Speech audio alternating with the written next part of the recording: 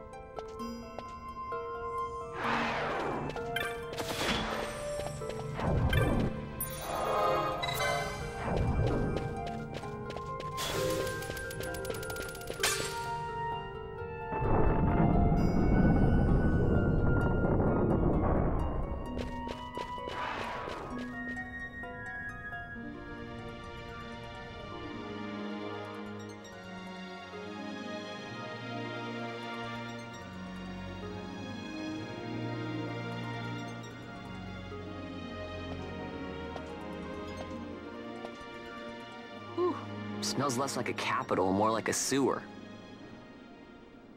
Even empires have need of sewers. The runoff from Archades proper pools here, those who lack papers to live in the city itself. The mighty who have fallen, and the fallen who would be mighty. Their eyes never leave Archades. I guess it must be a lot nicer than this place. Oh, to be sure. Archades reeks of a different filth. Let's be off. We can follow our noses to Draklor.